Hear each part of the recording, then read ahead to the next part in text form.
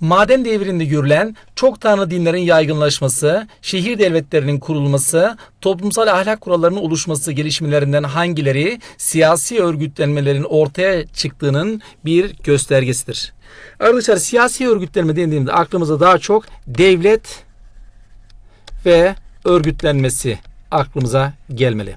Çok tanrılı din devlet örgütlenmesiyle alakalı mı, yönetimiyle alakalı mı? Değil. Şehir devlette bak devlet kurulmuş. Bu siyasi bir örgütlenmedir. Bakın devlet kurulmuş, devlet yönetimi. Toplumsal ahlak kuralları bu sosyal bir gelişme. Bu da olamaz, siyasi olamaz. O zaman yalnız iki B seçeneğimiz doğru seçeneğimiz olacaktır. Hem çivi hem de hieroglif yazısını kullanmaları Hititlere ait hakimiyet alanı, etkileşime girilen kültür, yönetim yapısı konularının hangilerinde kesin bilgilere ulaşılmasını katkı sağlar? Hem çivi hem de hieroglif arkadaşlar. Bakın çivi yazısı kime ait? Arkadaşlar Sümerlere ait. Hieroglif yazısı e, Hititlerin kendine ait yazıları var bu şekilde. Bu doğrultuda baktığımızda demek ki Anadolu'da bu kullanıldıysa e, Mezopotamyalarla Sümer şehirleriyle veya oradaki gelen Mezopotamya kültürü etkileşime girilmiş. Buna kesin olarak ulaşabilir. Yönetim yapısı hakkında bilgi zaten olamaz. Yukarıdaki gelişme bir sosyal kültürel gelişme. Hakimiyet alanları ile ilgili bir e, arkadaşlar kesin bir şey söylenemez. O yüzden doğru seçeneğimiz B seçeneğimiz olacaktır diyoruz. Yukarıdaki yargılardan hangilerinin tarih öncesi devirlerle ilgili doğru bilgi olduğu söylenebilir. Yargılarımıza bakalım. Birinci yargı. Kullanılan araç ve gereçlerin niteliğindeki değişmeler bu dönemdeki çağların birbirinden ayrılmasına temel ölçüttür. Hangi dönemin tarih öncesi devirler, e, devirlerin ayrılmasına temel ölçüt bu mudur? Budur. Doğru. Tarih öncesi çağlar dünyanın her bölgesinde aynı zaman diliminde ve tarihsel gelişime uygun bir kronolojik sırayla yaşanmamıştır doğru. Neden? Her bölgenin gelişmişlik seviyesi birbirinden farklı ve bir de etkileşimler sonucuyla ne olmuştur? Ee, farklı zaman dilimleri farklı yerde yaşanmıştır. Tarih öncesi çağları tarihsel sürece uygun yaşayan bölgeler genellikle daha ileri bir uygarlıktan etkilenmiştir. Bu ifade yanlış arkadaşlar. Tarihsel sürece uygun olarak yaşayanlar arkadaşlar nedir? Bir kere zaten etkileşime kapalıdır. O yüzden etkileşime kapalı olduğu için daha ileri bir topluma etkilenmesi söz konusu değildir. Mesela Mısır'ı hatırlayalım. Mısır etrafının çöller ve denizlerle kaplı olmasından dolayı arkadaşlar tarihsel süreci kendine yaşamış etkileşime kapalı olduğundan dolayı. O yüzden 1 ve 2'nin olduğu seçenek C seçeneğimiz doğru seçeneğimizdir. İyon ve Yunanlıların Akdeniz Havzası'nda ekonomik, sosyal ve siyasi amaçlar doğrultusunda kendi ülkeleri dışında toprak elde etmeye çalışmaları bu toplumlarla ilgili aşağıdakilerin hangisini gösterir? Evet sorumuza baktığımız arkadaşlar kolonijik faaliyetlerini yürüttüğünü söyleyebiliriz. Neden? Bakın İyon ve Yunanlılar Akdeniz Havzası'nda ekonomik, sosyal ve siyasi amaçlar doğrultusunda kendi ülkeleri dışında toprak elde etmeye çalışmaları bu toplumlarla ilgili hangisinin göstergesi diyor. Kolonicilik neydi? Bir devletin kendi sınırları dışında başka bir bölgeyi değişik amaçlarla ele geçirmesiydi. E, yukarı zaten bunun tanımı yapılıyor. E, aşağıda başlık veriliyor. O zaman cevap A seçeneği olacaktır diyoruz.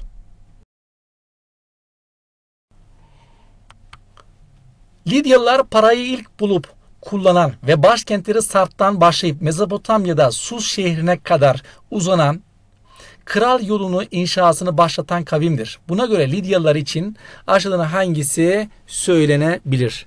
Ekonomik ve kültürel etkileşimin hızlanmasına katkı sağladıkları söylenebilir. Neden? Kral yolu bir ticaret yoludur arkadaşlar. Dolayısıyla ticaret burada yapılması için bunu yaptılarsa demek ki ekonomiye katkılar olmuştur. Ve aynı zamanda bu kral yolu görüyorsunuz yukarıda bakın Manisa'dan başlıyor bugünkü bizim e, Ege ilimizden. Mezopotamya Sus şehri Irak'a kadar gidiyor. Şam'a kadar gidiyor. Dolayısıyla farklı kültürün etkileşiminde ne olacaktır? Sebep olacaktır. A seçeneğine bakalım. Demokratik bir yönetim uyguladıkları yanlış. Krallıkla yönetiyor zaten Lidyalılar. Bu ifade yanlış olur. Mezopotamyalılar aynı ırktan geldikleri ifadesi yanlış. Ticarette takas yönteminin tamamen ortadan kalkmasına sağladıkları arkadaşlar tamamen o dönem için Lidyalılar dönemi için söylenemez. Çünkü paranın arkadaşlar zamanla diğer topluma yayıldıkları düşünülmeli. Kral yolunun tamamını kontrol altına aldıkları ifadesi tamamının ifadesi yanlıştır diyoruz arkadaşlar. Bu yüzden doğru seçeneğimiz C seçeneği. Sümerler'de dört işlem için cetveller hazırlanmıştır. Zikkurat denilen tapınaklar gözlemevi olarak da kullanılmıştır. Bu açıklama dikkate alındığında Sümer uygarlığı ile ilgili aşağıdaki yargılardan hangisine ulaşılabilir? Evet arkadaşlar seçeneklerinize baktığımızda B seçeneğinde ne var? Astronomi ve matematikle ilgili çalışmalar yapmışlar. Cetveli biz matematiğe alırsak Zikkurat'ın tabi gözlem evi yani e, astronomiyi alırsak ki biliyorsunuz ilk ay esası takvim yapmıştır Sümerler. Dolayısıyla bizim C, B seçeneğimizin doğru olduğu görülecektir. Tek tanrı inanç sistemi hakimdir. Yukarıda bundan bahsediyor mu? Hayır. Başka uygarlıktan etkilenmişler mi? Hayır.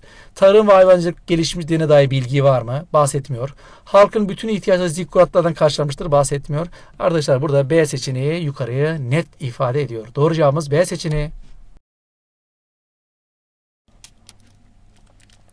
Hattuşaş'ta bulunan ve Hititlerle Mısırlar arasında yapılan Kadeş Barışı ile ilgili olan çivi yazılı metinde anlaşmaya Hitit Kralı 3. Hattuşili'nin mührü yanında Hitit Kraliçesi Pudahepa'nın mührü de basılmıştır.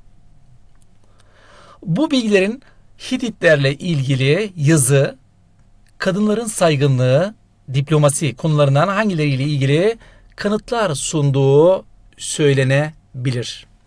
Yazı olur arkadaşlar. Bize bilgi verir yazı ile ilgili. Bakın çivi yazılı bir metinden bahsediyoruz. Kadınların saygınlığı var. Pudahepa'nın e, anlaşmaya imza atması. Yönetimde etkili olduğunu gösterir. E bir antlaşma var. Bu da diplomasinin göstergesidir. 1, 2, 3 doğru seçeneğimiz E seçeneği. Dünyanın ilk yazılı kanunları hazırlayan Sümer kralı Urgakina, rahiplerin devlet ve toplum üzerindeki etkinliğine son vermeyi amaçlamıştır. Bu durum Urgakina'nın laik, hukuk devleti, teokrasi anlayışlarına hangilerine benzer bir tutum içerisinde olduğunu kanıtlamaktadır. Şimdi arkadaşlar yazılı kanun yapıyorsa bu hukuk devletiyle alakalıdır. Aynı zamanda e, rahiplerin toplumda etkinliğine son vermek istiyorsa bu da arkadaşlar laiklikle alakalıdır. E, teokrasi var mı arkadaşlar? Teokrasi yok arkadaşlar. Dolayısıyla teokrasiyi istemiyor. Tam tersinde e, rahiplerin etkisini azaltıyor. O yüzden de 1 ve 2 Ceyhan cevap seçeneğimiz Ceyhan diyor. Romalılar Anadolu'da her kentte yollar, köprüler, stadyumlar, tiyatrolar, belediye binaları ve kütüphaneler yapmışlardır. Bu durumun Anadolu'da haberleşme, kültürel etkileşim, bayındırlık faaliyetleri unsurlarının hangilerinde ilerleme sağlanmasında etkili olduğu savunulabilir. Yol yapmaları arkadaşlar haberleşmeye örnek. Kültürel etkileşim zaten Romalılar Batı kültürü, Anadolu kültürünü kaynaşıyor. Yollar yaparak bunu da etkileşimi hızlandırabilirler. Bayındırlık faaliyetleri zaten yukarıdakileri yapılan hepsi bayındırlık faaliyetleri değil mi? Bayındırlık faaliyetleri e, kütüphaneler kültürel etkileşim 1 2 3 E doğru seçeneğimizdir. Lidyalıların monarşi ile yönetilme, Mezopotamya ve Anadolu arasında kral yolunu yapma, paralı ordular kurma özelliklerinden hangilerinin toplumlar arası kültürel etkileşime katkısı diğerlerinden daha fazladır? Evet bu doğrultuda baktığımızda arkadaşlar Lidyalıların katkısına baktığımızda monarşiyle yönetilme diğer devletlerde monarşiyle yönetiliyor. Toplumlar arası kültürel etkileşime katkısı olacak. Mezopotamya ve Anadolu arasında kral yolunu yapmaları evet etkileşime sebep olmuştur. Kral yolunu onlar yapmıştır. İşte Manisa'dan e, Şam'a kadar olan bölgeyi ne yapmışlardır? Kral yoluyla donatmışlar. Dolayısıyla kültürel etkileşime sebep olmuşlardır. Ana, dünya kültür medeniyetine katkıda bulmuşlardır bu şekilde denilebilir. Paralı ordular kurması arkadaşlar onları ilgilendirir. Kültürel etkileşim bir milletin diğer bir millette etkileşmesidir. Arkadaşlar 1 ve 3 kendine ait fakat ikinci özellik diğer milletleri etkileden dolayı etkileşme örnektir. Cevabımız B seçeneği olacaktır. Hititler feodal prensiplere son vermişler ve yeni krallık döneminde ise Pankuş Meclisi'nin yetkilerini kısıtlayarak kralın yönetimdeki hakimiyetini artırmışlardır. Buna göre Hititler siyasal birliği sağlamışlardır. Hititlerde mutlak monarşi zamanla güçlenmiştir. Pankuş Meclisi halk iradesini yönetime hakim kılmıştır. Yargılarından hangilerine ulaşılabilir? Hititler siyasal birliği sağlamış. Neden? Feodal prensiplere son vermişler. Demek ki artık tek krallık altında birleşmişler. Çünkü feodal prensip siyasal birliğin olmadığını gösterir. Onları kaldırırsanız siyasal birlik sağlanmıştır denilebilir. Hititlerde mutlak monarşi zamanla güçlenmiştir. Bakın Pankuş e, Meclisi'nin yetkileri kısıtlanıyor. Kralın yönetimindeki hakimiyeti artıyorsa mutlak monarşi demek e, tek kişi egemenliği, kral egemenliği demektir. Güçlendiğinin göstergesidir.